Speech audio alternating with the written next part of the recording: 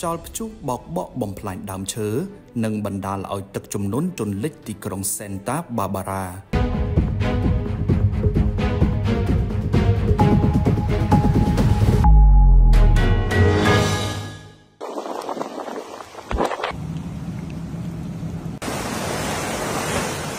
ទឹកទន្លេហូរច្រាលទៅច្រាលមក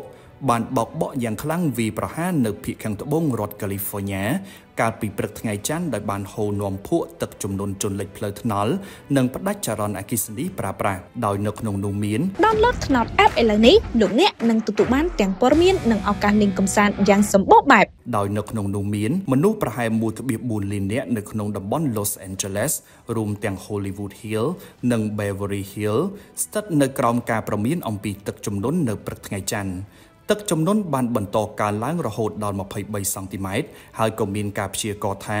នឹងបន្តកើនឡើងទៀតនេះបើយោងតាមសេវាអាកាសធាតុជាតិដែលបានហៅគ្រោះទឹកជំនន់ភ្លាមភ្លាមនិងការគម្រាមកំហែងនៃការរអិលបាក់ដីនេះថាជាស្ថានភាពគ្រោះថ្នាក់ធ្ងន់ធ្ងរមួយ គួរបញ្ជាក់ផងដែរថា